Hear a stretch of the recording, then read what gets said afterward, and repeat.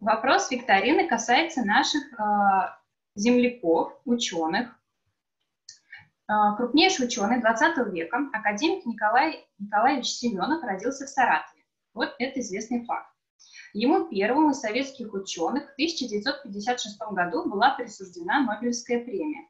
Вопрос, по какому предмету был, была присуждена Нобелевская премия? Физика, химия, физиология. Прошу ответить в чате, а пока передам слово Наталье. Здравствуйте. Всем большое спасибо, что откликнулись на вот такую нашу инициативу. Мы, собственно, впервые проводим а, Дни открытых дверей. А, ну, тем более, я думаю, что и ВУЗ тоже делает это впервые в таком формате. Поэтому для нас очень важно будет э, видеть э, ваше мнение, слышать ваши комментарии. И поскольку, скорее всего, до конца этого года мы продолжим работу вот в таком онлайн-режиме.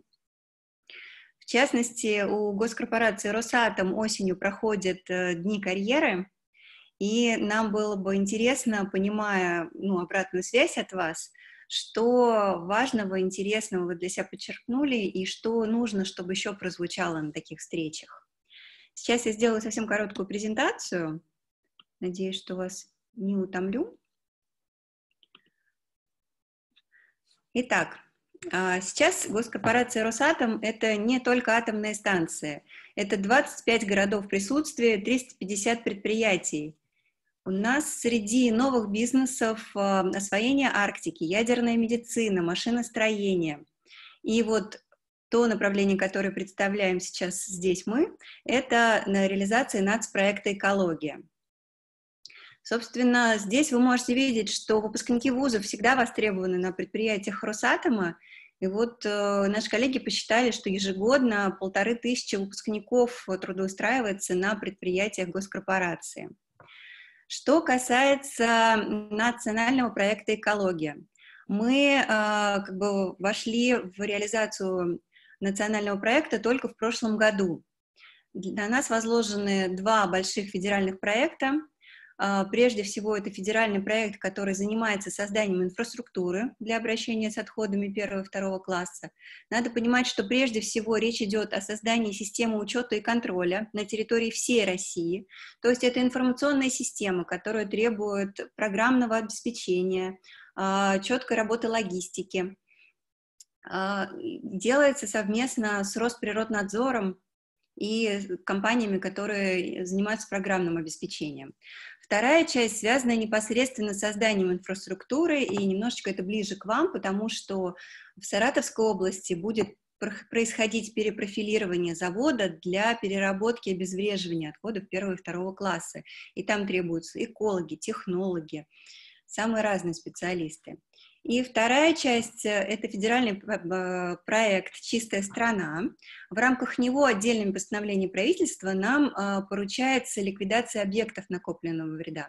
В частности, сейчас мы занимаемся рекультивацией Челябинской городской свалки и вот приступили к планам как раз по рекультивации а, полигона «Красный Бор» в Ленинградской области. Итак, новая отрасль ждет инженеров, технологов, химиков, экологов, логистов, программистов. И для того, чтобы делать э, и готовить этих специалистов э, скоординированно, сообща, мы уже сейчас создаем консорциум «Передовые технологии», в который вошли Российский химико-технологический институт, Вятский государственный университет – Удмуртский государственный университет и Саратовский государственный технологический университет. Благодаря этому у нас получилось пригласить сегодня специалистов университета и помочь вам рассказать о том, какие кафедры и специальности уже сейчас есть э, в университете. И еще хочу, пользуясь случаем, пригласить вас уже в этот четверг на онлайн-показ, э, предпоказ э, фильма «Промышленная эволюция», которая, собственно, рассказывает о том, что мы планируем делать, в том числе и в Саратовской области. В фильме будут э, представлены небольшие интервью с именно жителями поселка Михайловский. По QR-коду можно зайти прямо на саму трансляцию, а так на сайте MyAtom есть, э, собственно, программа всего фестиваля. Вот, если посмотреть еще на этот QR-код, э, то можно зайти на сайт госкорпорации Росатом и посмотреть именно о том, что мы делаем в рамках нацпроекта «Экология». Буду очень рада, если какие-то вопросы прозвучат, потому что так всегда легче ну, отвечать и понимать, что вам интересно. Спасибо большое. Наталья, спасибо большое.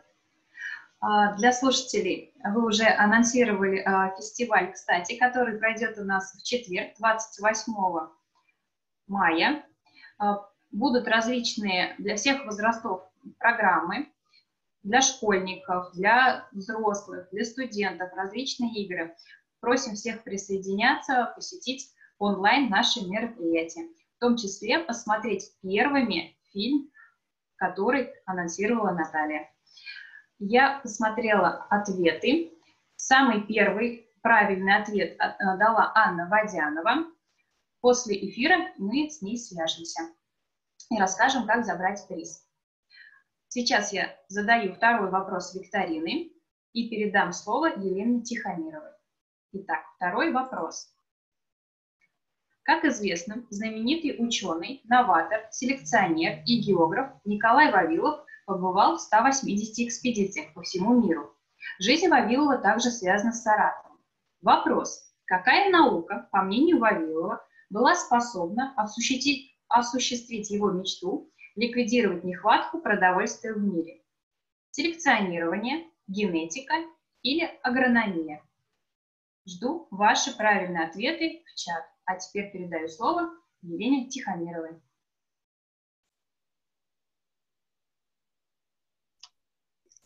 Добрый день, дорогие ребята! Рада вас всех приветствовать на нашем Дне открытых дверей. И, э, конечно, после того, как вы посмотрели презентацию, какие нужны специалисты и кто востребован сейчас, э, конечно, не последнее место занимают экологи, но это особые экологи, и экологи, которые знают и производство, и, э, соответственно, какие-то новые технологии. Я хотела вам сейчас как раз э, показать э, о том, кого мы готовим на своей базе в университете. Я думаю, что эта информация будет интересна всем, кто подключился, школьникам, как называется, восьмой класс плюс и дальше, а особенно выпускникам этого года, их родителям и вообще всем, кто в душе себя ощущает э, эко-волонтером и экологом. Э, соответственно, кто сегодня, кто такой сегодня эколог? Не просто надо любить природу, а, а надо вообще-то знать, что с ней происходит, и поэтому эколог – это прежде всего биолог, и поэтому у нас очень много дисциплин биологического плана для того, чтобы лучше познать окружающий мир. Эколог – это, безусловно, еще и химик, Потому что в современном мире без анализа, что конкретно влияет, как влияет, что за химические вещества, какая у них токсичность, вот для этого надо знать химию, и мы даем достаточно много химии и учим использовать на практике методы анализа объектов окружающей среды. Эколог современный и тот эколог, которого мы готовим в нашем университете, это, безусловно, и технолог тоже, потому что мы даем основы основных процессов технологических в современных производствах, особенно связанных с утилизацией опасных отходов. И, безусловно, учим видеть э, и оценивать безопасность экологическую тех э, технологий, которые на производстве внедряют. Безусловно, современный эколог, он должен быть и математиком, и программистом. У нас есть предмет информатика, у нас есть предмет геоинформационные технологии. Мы учим не просто получать данные о состоянии окружающей среды, но и строить карты экологического состояния территорий, распространение действий загрязняющих веществ и так далее. Безусловно, современный эколог – это и частично юрист, он должен знать всю нормативную базу, и, соответственно, а, помимо юридического, он и экономист, он должен посчитать правильно а, наносимые ущербы и платежи для предприятий, которые загрязняют. И еще изюминка именно подготовки у нас, что мы даем основы таких дисциплин, которые в других вузах не читают. Это только в нашем вузе при подготовке наших экологов. Мы даем основы экологической токсикологии, иммунологии и эпидемиологии, чтобы понимать, как э, загрязняющие вещества влияют на здоровье человека, каким экологическим болезням это приводит, и что на производстве для этого нужно э, знать экологу, который приходит работать. А, и профиль подготовки наш – это, безусловно, прикладная э, экология, это промышленная экология. И э, вот здесь на слайде представлено, что у нас есть бакалавриат экологии природопользования – с профилем экология. И тут самое главное, мне хотелось бы, чтобы вы обратили внимание, что профильный экзамен у нас география. И с учетом нынешней ситуации, когда введены дополнительные дни для экзамена, который вы можете сдать в августе для того, чтобы поступить на свободные места в ВУЗе, есть возможность сдать дополнительно географии, кто об этом раньше не задумывался. А мы со своей стороны на кафедре проводим бесплатно в дистанционном режиме подготовку к ЕГЭ по географии. Если вы надумаете, мы вас ждем, звоните нам обязательно. Но хотела бы обратить ваше внимание, что у нас математика профильная. Это очень важно, мы же в техническом вузе, очень много даем технических основ, поэтому э, и математику профильную можно тоже сдать в дополнительные дни ЕГЭ. Это у нас очная бюджетная форма, но у нас есть еще и заочная форма. Это немножко другая, э, другое направление природообустройства и водопользования, но профиль природообустройства. И для тех, кто имеет среднее образование, или тех, кто решил после школы поработать, но хочет продолжить учиться, пожалуйста, можно поступить к нам на этот профиль. Бакалавриатом у нас не заканчивается. У нас очень хорошая магистратура для как наших выпускников, так и с других направлений. Это профиль экологическая безопасность, которая как нельзя, кстати, сегодня нужно для новой отрасли промышленности, которая формируется в нашей стране. Ну, для тех, кому очень нравится научное исследование, кто решил себя посвятить науке, у нас есть и аспирантура по специальности экологии, причем и по биологическим наукам, и по химическим наукам, и по техническим, то есть в нефтехимии. Поэтому, пожалуйста, мы создадим все условия для тех, кто хочет заниматься наукой. А вообще мы преподаем экологию на всех инженерных направлениях нашего университета. Вот здесь представлено два предмета, которые мы ведем. И самое главное, что у каждого выпускника инженерных направлений в нашем ВУЗе есть такой раздел в выпускной квалификационной работе, который называется «Экологическая экспертиза проекта».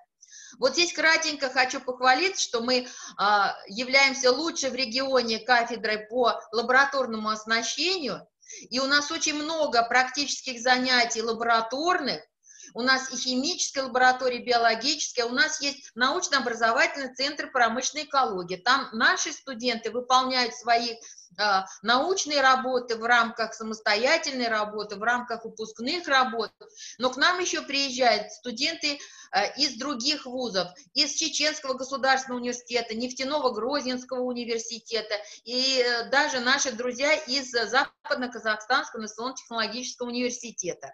А еще у нас есть большой аккредитованный центр. Что это значит? Это значит, что мы делаем а, а, анализы и исследования по заказу других организаций и выдаем им заключение, которое имеет юридическую силу, и с которым можно даже пойти, а, допустим, в арбитражный суд, чтобы правильно э, оценить э, выписанные штрафы там, допустим, и так далее. И вот наши ребята, особенно старший курс, а, имеют возможность и свои анализы в этом центре провести, и поучаствовать вот в таких интересных работах. И еще у нас есть изюминка, которой нет ни в одном другом вузе, Именно на нашей базе в год экологии в 2017 году был открыт областной научно-методический центр экологического мониторинга состояния Волгоградского водохранилища. У нас большой блок исследований проводится по мониторингу водных объектов региона и зимой, и летом, с, э, с участием МЧС России, поскольку мы выезжаем на маломерных судах, проводим исследования. И всем, кому это очень важно и интересно, я думаю, что найдут себя и будут задействованы в полной мере. А, у нас очень интересные практики. Наша кафедра имеет филиал свой в Национальном парке Хвалынский, в самом центре леса, да сказать, в центре национального парка, на Солнечной поляне, где есть виртуальный музей, есть условия для комфортного проживания и э, прохождения вот этой практики, которую Э, которой принимают участие сотрудники Национального парка Хвалынский. Это, поверьте мне, самые незабываемые дни, и те, кому очень нравится это направление работы, они дальше на, в этом же филиале продолжают выполнять свои курсовые, выпускные работы и так далее. Очень интересная вторая практика, эколого-гидрологическая, она проходит у нас на базе спортивно-научного центра «Политехник». Это под Марксом, в уникальном месте на стыке а, малых рек Караманов с Волжской и впадающих в Волгоградское водохранилище. Чем оно уникально? что под действием Волжского каскада два раза в день меняется направление воды. И как нигде в другом месте можно как раз вот эти все наши методы мониторинга Э, изучить, исследовать и так далее. Это незабываемые дни практики, которые студенты всегда и потом еще много лет вспоминают об этом. После третьего курса и на четвертом идут производственные практики на предприятиях. И этот спектр очень большой. У нас традиционно берут на практику и «Газпром», и «Транснефть», и «Трансгаз». То есть ребята в реальных условиях уже смотрят, как работают экологи на этих предприятиях. Очень э, часто к нам обращается с просьбой дать на практику наших эколог, э, будущих экологов, это и Росприроднадзор, и Ростехнадзор, и Росатомнадзор, безусловно, наше Министерство природных ресурсов и экологии. Поэтому есть возможность пройти практику и в государственных структурах. Ну и для молодых людей, конечно, существенно это то, что у нас есть военная кафедра, и наши экологи тоже имеют возможность а, пройти военную подготовку на военной кафедре. Хочу сказать, что уже третий год Министерство обороны Российской Федерации вело должность военного эколога. И у нас в Самарской области есть целый ряд воинских частей, в структуре которых есть военный эколог. И экологи востребованы в лабораториях прогнозирования чрезвычайных ситуаций, это военные лаборатории. И у нас есть уже ребята-выпускники, которые после окончания ушли, работ... Э, ушли в армию как военными экологами, так и работать в этих лабораториях. Что интересно, для тех, кому очень интересна наука, у нас уже 10 лет работает студенческое научное общество «Экоинноватика». Мы очень поддерживаем этих ребят, и, безусловно, есть возможность поездить и на научные конференции, и на научные форумы, и на стажировки в другие вузы. И я хочу сказать, что наша команда, вот здесь как раз представлена э, фотографии прошлого года, мы собрали практически все призовые места и гран-при, и дипломы на э, биосфоруме международном в Санкт-Петербурге. И э, эм, что еще у нас очень интересно? На нашей базе проходят как региональные студенческие олимпиады, так и всероссийские студенческие олимпиады. к нам съезжаются команды из всех вузов Поволжья. И это вообще тоже незабываемое событие, э, когда студенты могут не только показать, что они знают, порешать задачи экологические, но и показать, как они работают руками, как они могут быстро, что называется, экстемпора, поставить э, диагноз что за загрязнение, где оно, рассчитать его действия и так далее. Я думаю, что вам это тоже должно быть очень интересно.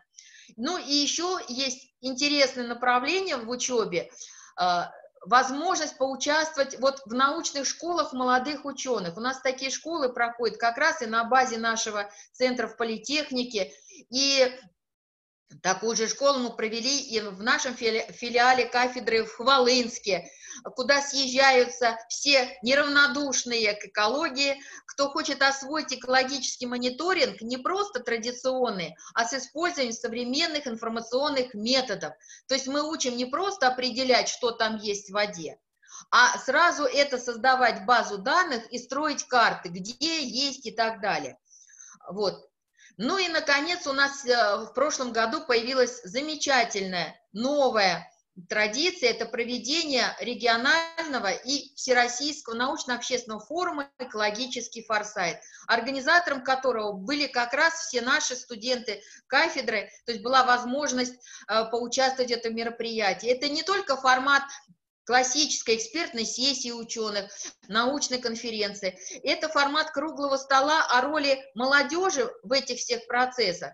Это э, формат э, лучшие экологические практики образования, где учителя со всего региона приезжали и рассказывали, как они работают со своими учениками. И это формат совершенно уникальный, замечательный, Э, конкурса экологической рекламы и видеороликов, э, э, мультзаставок и так далее. И вот такой как бы многоплановый форум мы планируем и в этом году провести при поддержке федерального экологического оператора. В прошлом году это при поддержке в ГУП Росрау было госкорпорации Росатом. Мы очень признательны им, потому что действительно форум получил большой отклик. Э, для э, школьников продвинутых я хотела бы сказать, что у нас несколько сайтов кафедра ведет под руководством профессора Бобарева и с участием студентов.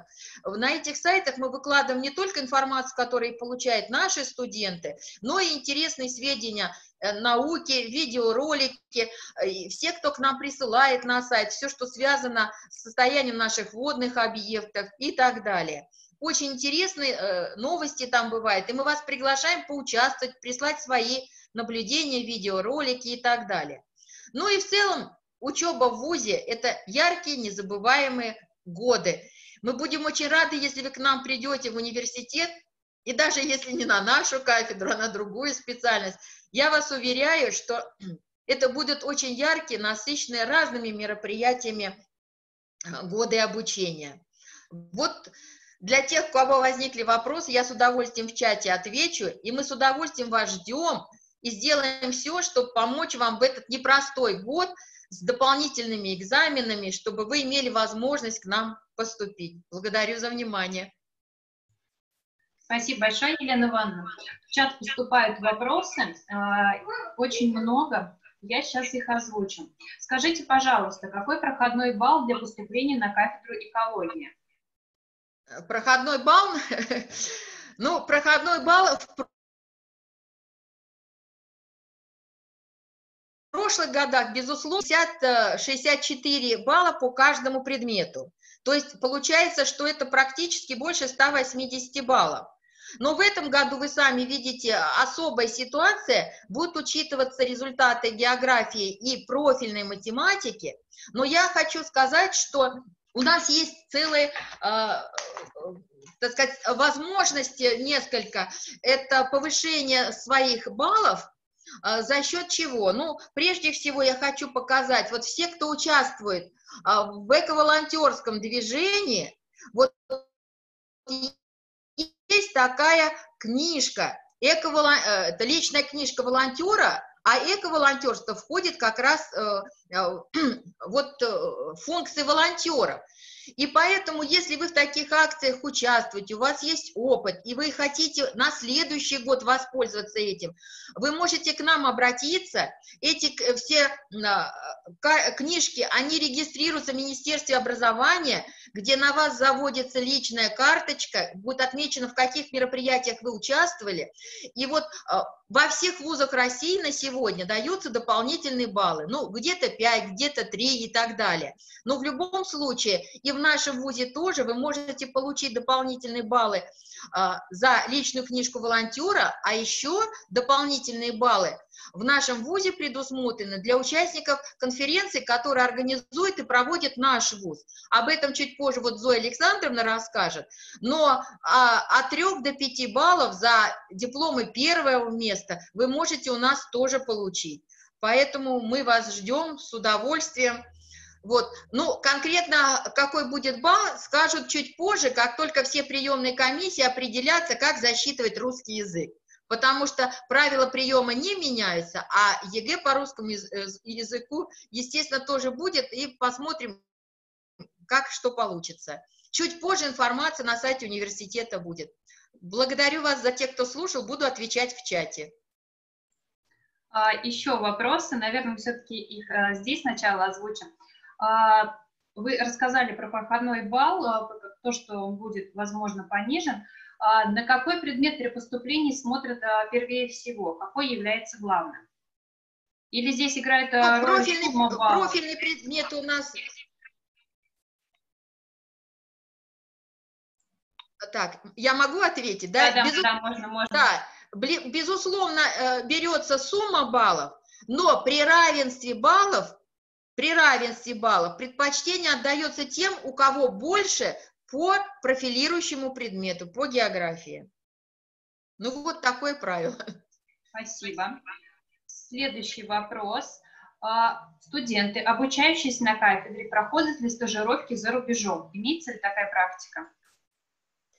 Э, вы знаете, я хотела бы к этому вопросу вернуться после выступления Зои Александровны. Она как раз расскажет о том, как какие есть возможности, в том числе и побывать за рубежом. Договорились? Зоя Александровна об этом расскажет. Хорошо. И еще один вопрос. Есть ли возможность проявить себя с творческой стороны на кафедре экологии?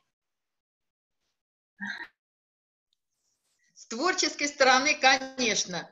У нас, во-первых, на кафедре был организован несколько э, лет назад э, экологический театр, и наши студенты э, с удовольствием ставили вот э, различные постановки. Правда, потом все дружно, всей команды ушли в КВН университетский.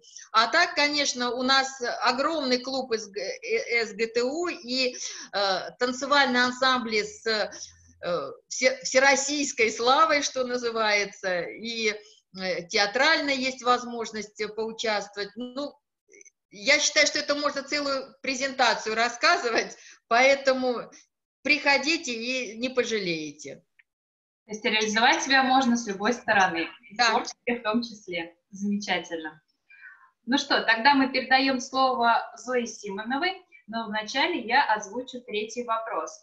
А, на второй вопрос правильных ответов, к сожалению, не было. Мы его снимаем из количества призов, то есть мы его больше не разыгрываем. А правильный ответ был генетика. А, итак, я зачитываю третий вопрос. Знаменитый изобретатель и инженер Павел Николаевич Яблочков родился и умер в Саратове. Изобретенными им свечами Яблочкова был освещен Париж. Вопрос. В основу создания какого вида ламп легло его изобретение? Лампы накаливания, люминесцентные лампы или газоразрядные лампы? Правильный ответ жду в комментариях. А сейчас передаю слово Симоновой Зое. Спасибо большое. Здравствуйте, уважаемые наши э, будущие студенты, наши абитуриенты. Рады вас видеть, э, слышать. И продолжение презентации Елены Ивановны хотела бы рассказать о том, что есть у нас на кафедре. А, ну, прежде всего, у нас на кафедре существует э, уже три или четыре года так называемая детская школа ЮНИЭКа, которая была сформирована на базе технариума СГТУ имени Гагарина. А, в рамках этой школы мы проводим различные исследования, проводим научные стажировки, то есть в течение ваших школьных каникул вы можете посетить нашу кафедру, поучаствовать в лекциях, практических занятиях, в лабораторных занятиях наравне с обычными студентами. Э, также в рамках э, ЮниЭКО вы можете подготовить свой проект, который впоследствии будет представлен на различных конференциях, мероприятиях самого-самого разнообразного уровня. В течение обучения в ЮниЭКО вы осваиваете программу по выбору, это может быть 64 часа программа, может быть 250 часов, то есть в зависимости от э, вашего выбора и вашего предпочтения. А, после того, как э, у вас будет э, сформирован, оформлен проект, то вы можете его уже предоставлять на различные мероприятия. Ну вот был сейчас вопрос, есть ли возможность поучаствовать в международных мероприятиях. Да, действительно есть. Э, у нас на кафедре проводится всероссийская конференция, э, всероссийская конференция для школьников АСАН, так называемая. Так, я прошу прощения. Ну, как раз у меня Не запустилась презентация. Презентацию мы видим. Да, но только она не переключает слайды. Сейчас вопрос, есть ли возможность поучаствовать в международных мероприятиях. Да? Ну, вот э, был сейчас вопрос, есть ли возможность поучаствовать... В... Дорогие участники, э, не выступающие, большая просьба выключить звук, пожалуйста. возможность поучаствовать в международных... Так, вот. То есть э, в рамках э, школы ЮНЕКа проходят различные проект, э, э, различные мероприятия, которые направлены на создание вами проекта. Ну вот, в частности, на слайде вы видите одно из мероприятий, которое проходило в Национальном парке Хвалынский, и ребята участвовали вместе с студентами, анализировали состояние окружающей среды в природном парке – Э, проводили анализ э, воды из родников, анализ э, растительности, почвенной среды и так далее. После того, как прошло мероприятие, подготовлены проекты, но проекты вы можете готовить самостоятельно и, соответственно, предоставлять их уже на Всероссийскую конференцию по экологии для школьников ОСА. Эта конференция у нас в 2020 году проходила дистанционно и была уже шестой конференцией. Но, тем не менее, лучшие доклады, лучшие э, выступления э, получают направление на международную конференцию, международную биошколу, которая проходит уже в Санкт-Петербурге. Э, здесь у вас также есть возможность реализовать себя, показать себя, познакомиться с такими же юными исследователями и зарекомендовать себя уже на более высоком уровне. А дальше уже Организаторы международной биошколы могут пригласить вас поучаствовать э, в школах, которые проходят в Финляндии, и школы, которые проходят в Греции. Ну вот то, что касается финской школы, то здесь э, в основном акцент ставится на оценке качества также окружающей среды, на оценке э, качества водной среды. Что касается школы в Греции, то здесь в основном направленность идет на зеленые технологии или green technology, зеленые э, проекты, зеленая экономика сюда тоже будет относиться. То есть получается, что являясь э, как бы, участником наших мероприятий, э, ну и не только наших, но зарекомендовав себя, вы можете получить приглашение на международные какие-то мероприятия, на международные научные конференции. Ну вот э, самый такой яркий пример, э, когда наш студент Алина Дегтева э, поучаствовала в международной конференции по добровольчеству и социальным инновациям в Женеве, в ООН, и получила одобрение со стороны руководства, со стороны присутствующих, э, то есть ее проект, э, авторский проект был направлен на э, создание экологических троп на базе природных, природно охраняемых территорий Саратовской области. Этот проект получил очень высокую оценку. На следующий год буквально и вместе с Алиной, параллельно, также в этой конференции принимали участие ученики 4, 5, 9 классов гимназии номер 2, лицее номер 4 города Саратова. А, они принимали участие в международном конкурсе «Тетрадка дружбы. Объединение детей планеты Земля» и были удостоены звания молодежных амбассадоров ООН. Тоже, э, соответственно, их работа была оценена очень-очень высоко и достойно. Это то, что касается международного участия. А, когда вы поступаете к нам на кафедру, поступаете в наш университет, э, вы можете, соответственно, заниматься э, волонтерской деятельностью.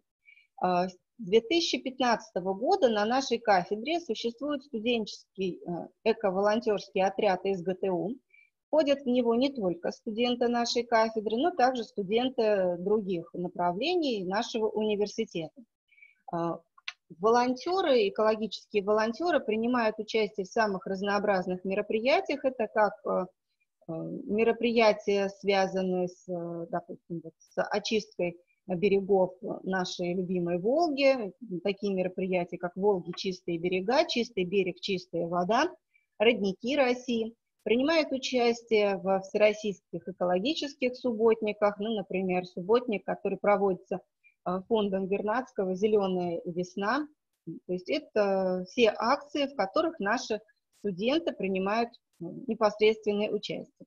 А, и также мы принимаем участие в различных а, просветительских мероприятиях экологических. Ну, пример яркий, наверное, это фестиваль тюльпанов, который проходил до нынешнего года ежегодно.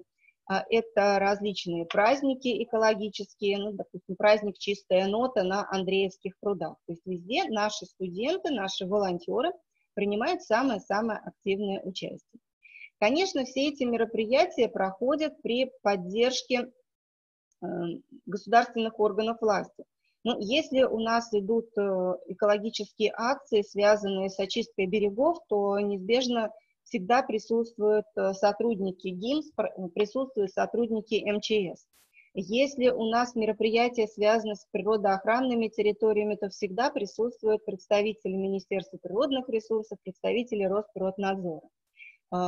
Такое вот сотрудничество дает возможность студентам-волонтерам а, непосредственно влиться в профессию, приобрести какие-то професси... дополнительные профессиональные компетенции и лучше узнать, ну, будем так говорить, потребности окружающей среды, которые возникают в результате антропогенной деятельности человека. А, в прошлом году наш эко-волонтерский отряд а, получил, ну, мы считаем, одну из наивысших наград, то есть стал победителем в номинации «Эко-волонтеры рекам и озерам» Всероссийского конкурса «Лучший эко-волонтерский отряд России». То есть такая вот награда у нас тоже существует.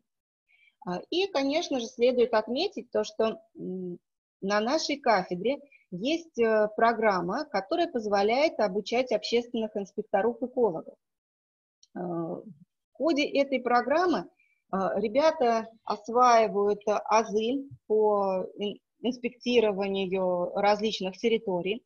А, ребята общаются с э, прокурорами природоохранной прокуратуры, с инспекторами, государственными инспекторами Росприроднадзора, с инспекторами, которые а, есть в Министерстве природных э, ресурсов и экологии. Учатся, ребята также учатся составлять протоколы, а, знают, куда можно обратиться и что необходимо предоставить для того, чтобы а, пресечь какое-либо нарушение или даже уже, соответственно, не просто пресечь, а наказать виновных. А, по окончании обучения ребятам выдаются соответствующие удостоверения, которые ну, можно использовать, можно показывать и говорить, что я общественный инспектор-эколог, и, соответственно, так делать нельзя, лучше сделать вот э, так или по-другому. Ну, вот такие вот э, как бы, мероприятия есть у нас на кафедре, и мы, конечно же, будем рады видеть вас, и будем рады, если вы примете участие в нашем эко-волонтерском отряде. Спасибо большое за внимание. Спасибо большое, Зоя. У нас есть вопрос в чате, на него, правда, ответила Елена Ивановна, но я его все-таки озвучу для тех слушателей, которые не читают, например, чат. А, такой вопрос. Зоя Александровна, обязательно знать язык для того, чтобы пройти практику в другой стране. Нужно ли будет защищать проект в другой стране?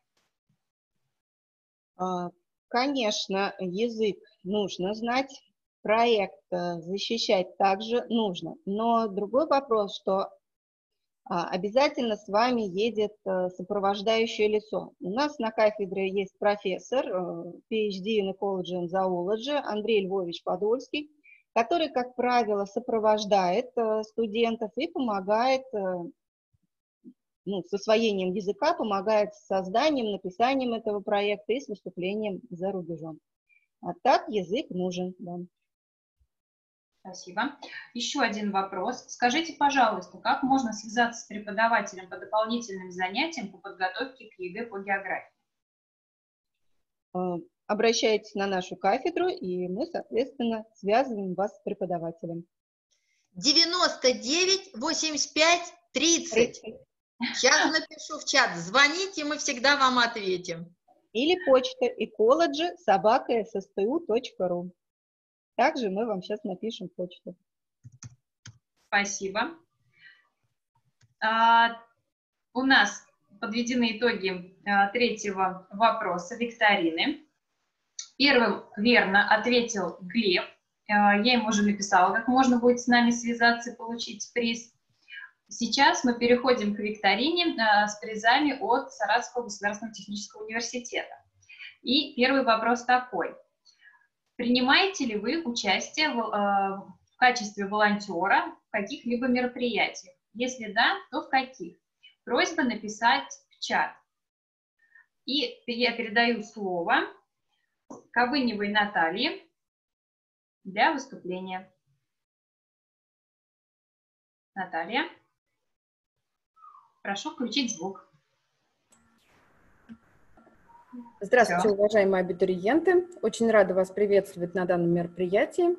И сегодня я хочу сделать презентацию нашей кафедры, кафедры химии и химической технологии материалов Саратовского государственного технического университета имени Юрия Алексеевича Гагарина, а, и рассказать о направлении, которое мы реализуем, то есть химическая технология. А, я думаю, многие со мной согласятся, думаю, многие со мной согласятся, что химия – это одна из самых важных областей естествознания и очень интересная и увлекательная наука. Именно с помощью законов химии мы можем, а, они позволяют понимать нам все те процессы, которые происходят вокруг нас а, в окружающем мире. Сложно переоценить важность изучения химии, поскольку без нее невозможно представить ни одной современной технологии. А, современ... А, с химией связано очень много интересных профессий. Простите, у меня презентация немножко бежит впереди меня. А, итак, с химией связано много интересных профессий. Это и учитель, и преподаватель, и лаборант, аналитик. Но сегодня мы поговорим более подробно о такой, о такой профессии, как химик-технолог. В настоящее время химик-технолог – это одна из самых востребованных технологических профессий – Выпускники наших кафедры, а, перед ними открываются широкие перспективы трудоустройства от предприятий косметических и фармацевтических компаний, от металлургических предприятий и до предприятий по переработке, рециклингу и утилизации промышленных и бытовых отходов. А, химические технологии принимает активное участие в разработке и внедрении комплексных научно-технических программ и проектов по утилизации и переработке опасных отходов с получением вторичного сырья, а также высокотехнологической продукции. А на нашей кафедре большое внимание уделяется разработке и применению наноматериалов и нанотехнологий, а, и также в том числе в области рециклинга и утилизации промышленных и бытовых отходов. А так, на нашей кафедре на базе нашего института, вернее, а, под руководством доктора химических наук, профессора Александра Вделеновича Гороховского, уже более 10 лет назад создан научно-образовательный центр нанотехнологии и наноматериалы, в состав которого входит также инжиниринговый технологический центр. А, лаборатории данного центра оснащены очень современным научно-исследовательским и технологическим оборудованием, и причем хочется отметить, что на этом оборудовании работают э, как э, сотрудники кафедры, так и студенты. То есть э, дипломные работы студентов проводятся с применением современного оборудования, и при этом студенты сами допускаются до работы вот на этих приборах. На базе центра осуществляется разработка и внедрение инновационных технологий получения функциональных материалов различного назначения.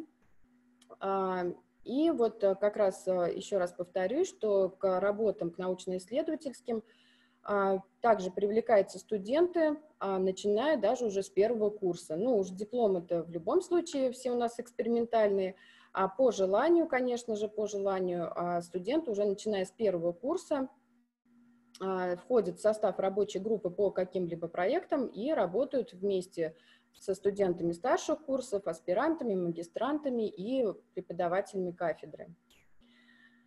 А, ну и, конечно же, это дает большое преимущество нашим выпускникам а, при трудоустройстве, поскольку на современном рынке труда очень ценится опыт работы на современном научно-исследовательском и также технологическом оборудовании.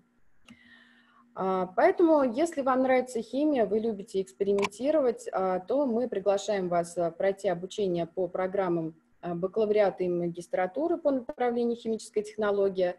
Сейчас перед вами наши контактные данные, также здесь вот не указано, но у нас есть и группа ВКонтакте, тоже можете нас найти, задавать вопросы интересующие, ну и немного информации по поводу поступления. А, прием на обучение будет проводиться по результатам а, единого государственного экзамена по трем предметам, по русскому языку, математике, математика причем тоже а, профильная, и третий предмет – это химия. В 2020 году, в этом году, количество бюджетных мест по программе бакалавриата составит 15, и если уже кому-то дальше интересно, да, по программе магистратуры это 10 мест. А, ну и в заключение хочется еще пару слов также сказать о том, что наша кафедра проводит, он очень активно работает со студентами, а, с школьниками. Мы ежегодно проводим Олимпиады юных химика. Возможно, кто-то даже и был у нас э, в стенах нашего, нашей кафедры. К сожалению, в этом году Олимпиады провести не удалось, поскольку а, в дистанционном формате это не очень удобно. Мы выбрали такой формат Олимпиад, что всегда у нас два тура. Это экспериментальный тур и теоретический. Вот, поэтому в этом году, вот, к сожалению, так сложилось, что экспериментально а, мы собрать детей не можем провести экспериментальный тур, но, думаю, со следующего года мы все это возобновим. Вот. Также перед нашими студентами открываются широкие перспективы участия в различного рода мероприятиях. У нас очень много студентов-активистов, волонтеров – а, в студоотрядах участвуют студенты, также занимаются спортом, художественной самодеятельностью. А, Все это тоже в нашем ВУЗе и, в частности, на кафедре у нас а, есть. Так что будем рады видеть вас в числе абитуриентов, в числе будущих наших студентов. Приходите. Спасибо за внимание. Наталья, спасибо. В чате есть вопрос, но можно, наверное, его всем адресовать. Учитываются ли победы в Олимпиадах, конкурсах при поступлении и прибавляются ли баллы за портфолио?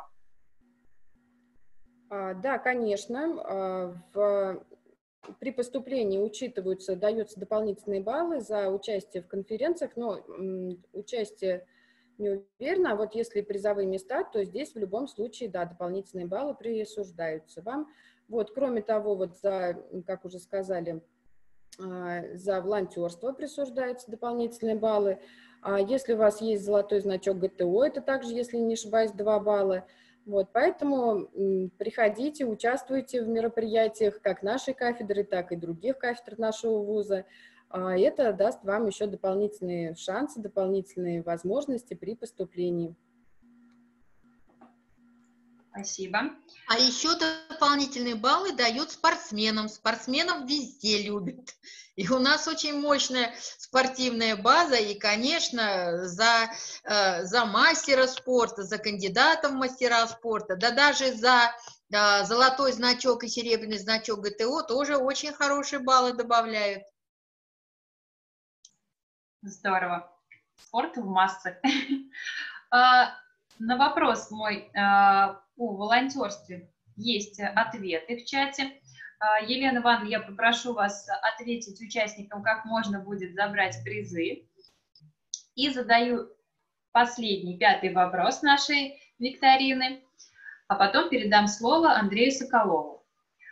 Пятый вопрос, ну или как опрос, сортируете ли вы мусор?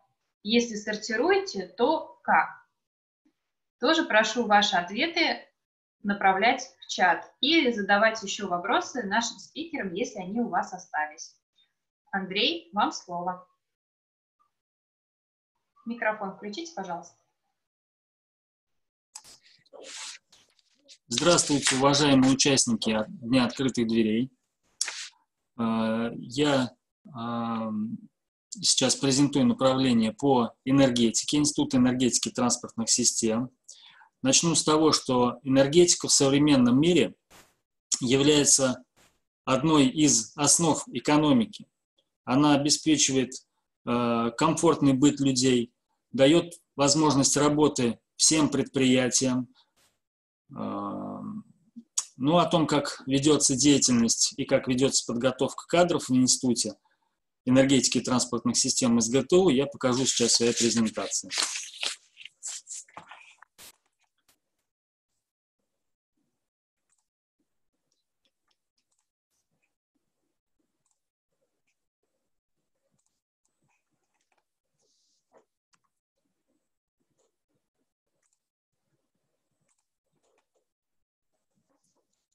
Значит, основные направления а, подготовки по энергетике – это электроэнергетика и теплоэнергетика. А, в электроэнергетике два основных направления подготовки – это электроснабжение и автоматизированные электротехнологические установки и системы.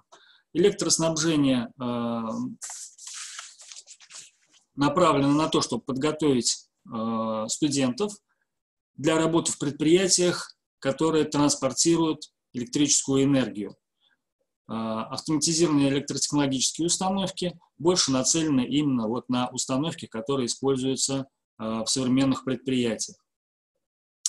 Продолжить обучение можно в магистратуре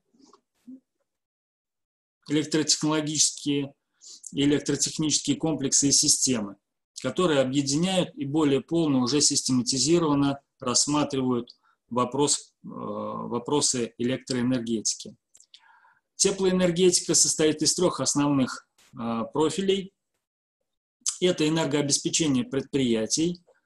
Э, данное направление совмещает в себе при подготовке подготовку такого комплексного энергетика, который знаком и с теплоэнергетической системой, и с электроэнергетической системой. Промышленная теплоэнергетика. Здесь студенты э, получают знания о промышленных аппаратах. Это и высокотемпературные системы, и сжигание топлива, и аппараты, работающие с давлением. Профиль тепловые электрические станции настроен в основном на подготовку студентов для крупных генерирующих компаний. Но получая образование инженера теплоэнергетика, в общем-то, они могут э, работать в большом количестве предприятий, это дальше перечислю. Продолжение обучения может быть в магистратуре. Это энергетические системы и комплексы, широкое направление, промышленная теплоэнергетика и более четкое подробное рассмотрение технологий производства тепловой и электрической энергии. Значит, возможно обучение как очное, так и заочное. А, это были программы бакалавриата и магистратуры, и есть еще специалитет – который называется «Атомные станции. Проектирование, эксплуатация, инжиниринг». А, здесь уже обучение пять с половиной лет, но уже выпускают э, специалиста, инженера в традиционном понимании этого слова.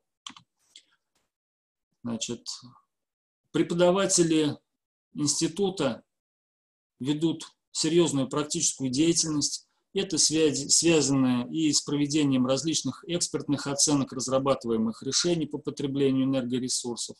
Это и проведение энергетических обследований и энергоаудиты с разработкой энергетических паспортов.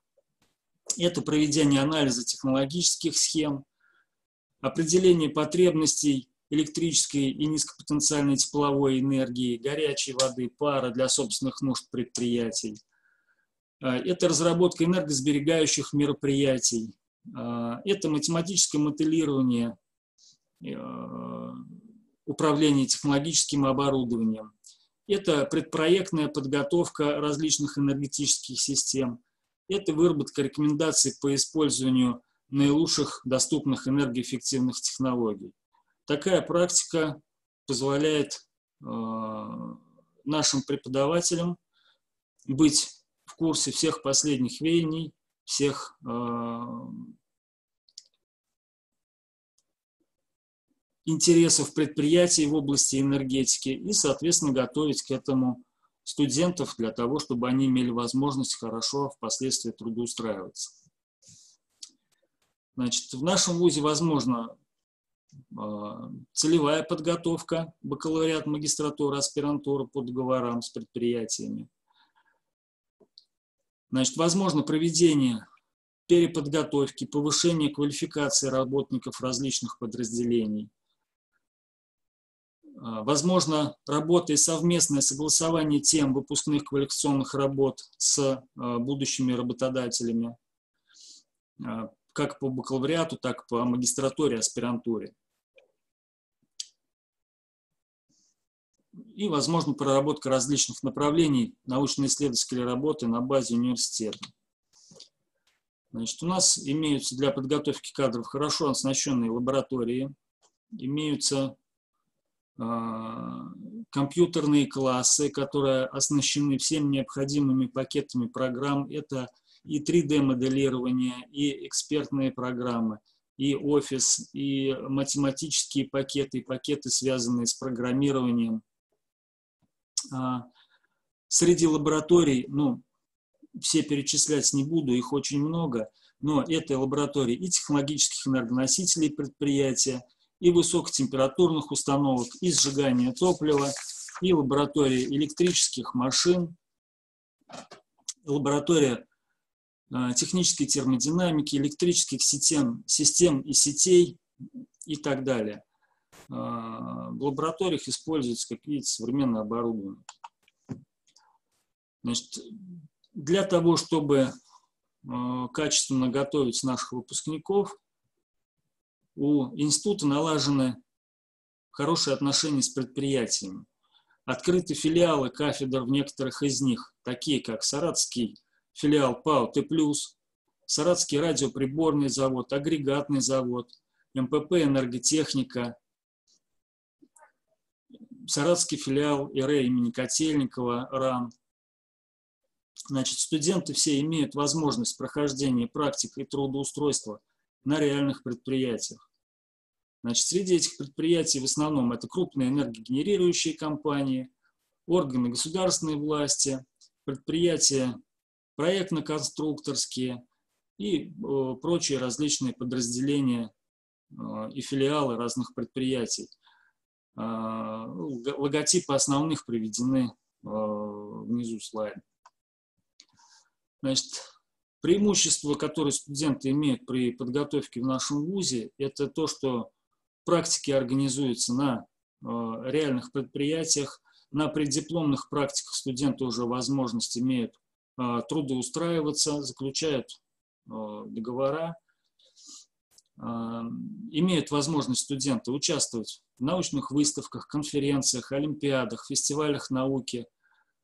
Кстати, пользуясь случаем, могу, хочу пригласить вас на осенний наш традиционный ежегодный фестиваль науки. Я надеюсь, что по окончании всех этих ограничительных мер мы все-таки его будем проводить. Студенты имеют возможность дополнительного образования, а, получения дополнительных сертификатов, а, имеют возможность самовыражения, это спортивные мероприятия, танцы, КВН. Очень хорошая у нас трудоустраиваемость.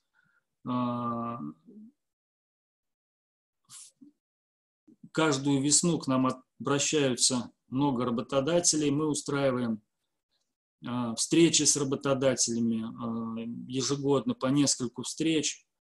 А, работодатели обращаются с просьбой нам предоставить хороших студентов для трудоустройства. Ну, уже было сказано, что у нас есть и военная кафедра, и общежитие хорошее. Также очень большая в ВУЗе имеется инфраструктура по проведению дополнительного досуга студентов. Значит, это студенческие команды КВН, и спортивный клуб, это и лыжная школа, и автошкола, и спортивно-оздоровительный лагерь, на который студенты едут э, при поддержке профсоюза с э, минимальной стоимостью. Э, это и детская компьютерная школа, и школьный технопарк, в общем, очень широкий спектр на практически любой интерес. Вот, спасибо за внимание. Если есть вопросы, жду. Андрей, спасибо большое. Да, вопросы были, но вы в течение презентации на них ответили. Э, у нас идет трансляция в группе ЦАИ Саратова и Технопарк Михайловский. Нам еще там присылают вопросы. Как раз эти вопросы, ответы на них вы уже озвучили в своей презентации. А, я читаю чат, и меня очень радует то, что у нас есть эко-волонтеры, которые сортируют мусор, заботятся о окружающей среде своими маленькими усилиями, поддерживают большой проект. Это очень радует. А, Елена Ивановна, я думаю, вы с ними свяжетесь, да, и расскажете, как можно будет получить призы. А, спасибо большое за ваше выступление. Я передаю слово Наталье Хижной. У нее есть два ролика о э, работе федерального экологического оператора. Я думаю, нам всем полезно будет посмотреть их. Наталья. Наталья. Я пока несколько да. слов скажу, что я записала всех, кто в чате э, писал о своей волонтерской деятельности, о сортировке мусора. Вот, и в чате там есть наш телефон кафедры, поэтому звоните, а я постараюсь со всеми с вами связаться. Призы вас ждут на кафедре. Ну, после коронавирусной ситуации. А может быть, что-то и почтой отправим. Хорошо, всем большое прям спасибо, столько информации интересной, полезной прозвучало. Я думаю, что дети сейчас еще продолжат задавать вопросы и разбираться в том, собственно, какие специальности существуют. А сейчас просто, ну, чтобы чуть-чуть вас отвлечь, развлечь и, в частности, рассказать коротко о фит-проекте, а пока покажу ролик. Сейчас только секундочку.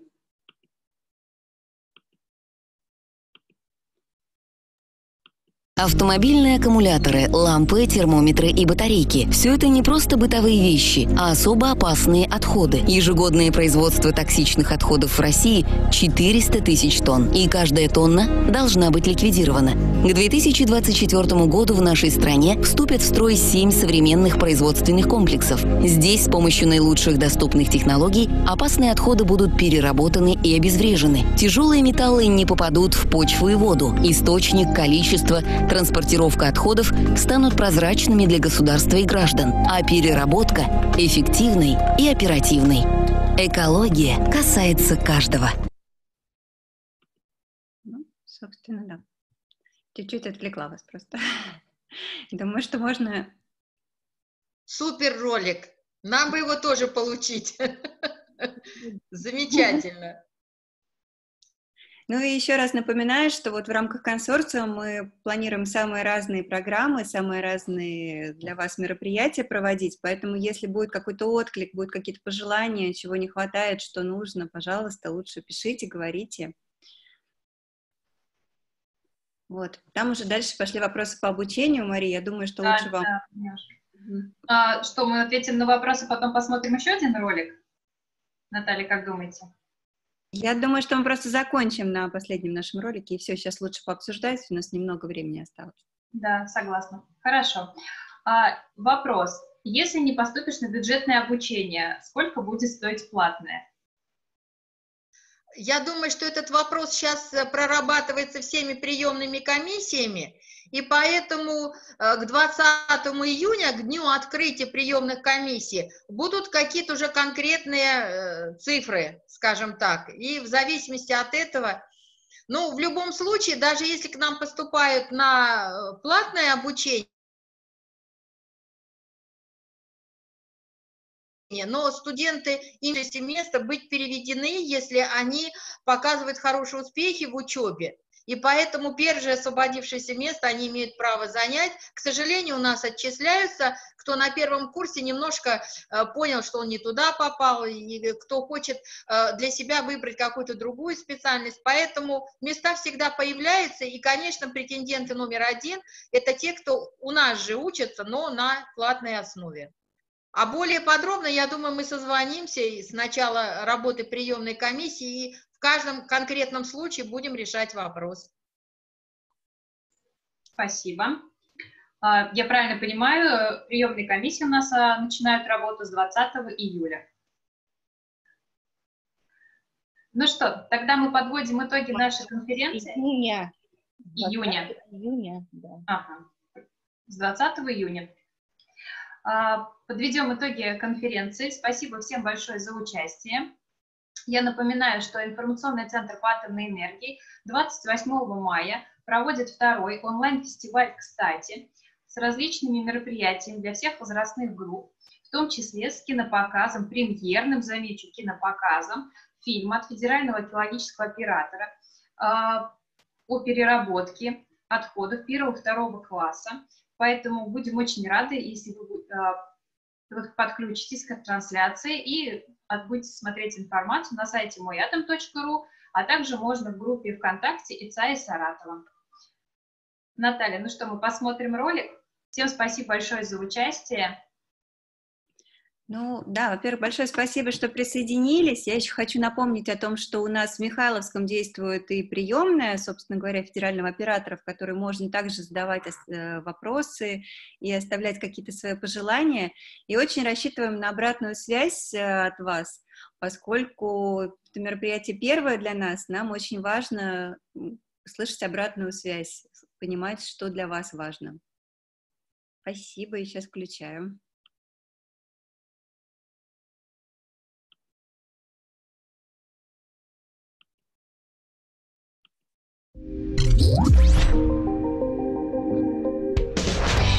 Привет! Мне 26 лет. Я работаю ведущим инженером на одном из крупнейших предприятий госкорпорации «Росатом». С удовольствием расскажу, как я попал в команду настоящих профессионалов и сегодня уверенно строю свое будущее. Три года назад я заканчивал вуз по специальности ядерной физика и технологии. Учился без троек. За годы учебы несколько раз проходил практику на различных предприятиях, а также занимался научной работой. В конце учебы передо мной стал вопрос, куда пойти работать и где начать свой карьерный путь. я приступил к поискам работы в интернете. Зашел на сайт Центра карьеры Росатома и увидел информацию более чем о 100 предприятиях госкорпорации по всей стране. На сайте также публиковались вакансии для выпускников технических вузов. Оказалось, что кроме меня этот сайт ежемесячно посещает еще более 2000 человек.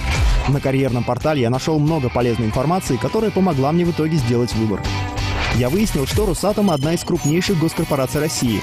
Единственная в мире компания с технологиями полного ядерного цикла, ведущая работу в более чем 40 странах по всему миру. Росатом занимает первое место в мире по количеству сооружаемых АЭС за рубежом.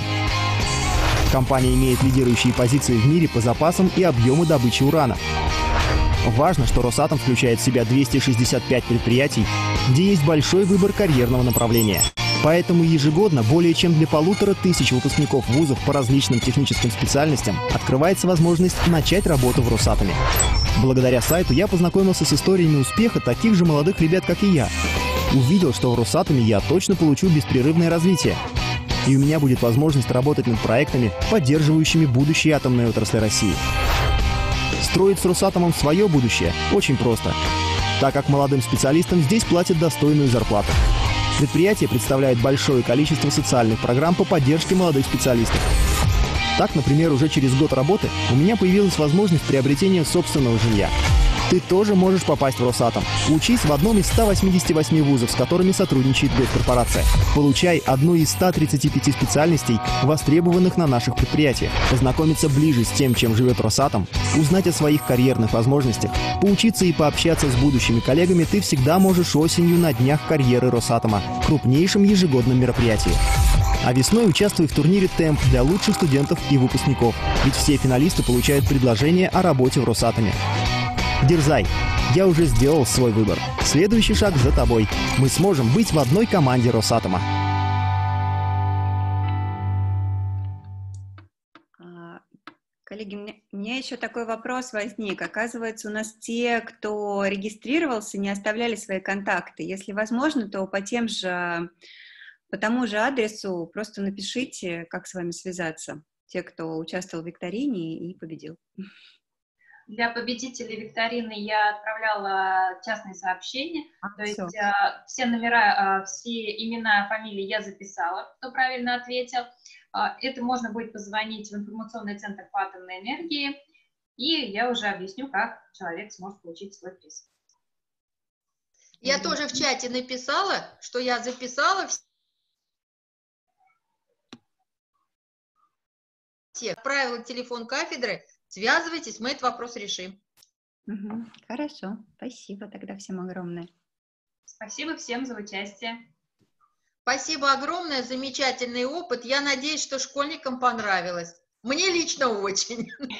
Ну, еще многие посмотрят в записи, потому что не у всех онлайн э, срабатывает. Поэтому мы будем надеяться на ваш отклик. Если Хорошо. будут вопросы, я вам их передам. Спасибо. Хорошо, спасибо. Хорошо. Спасибо. спасибо. Всего доброго. До свидания. Всем до свидания.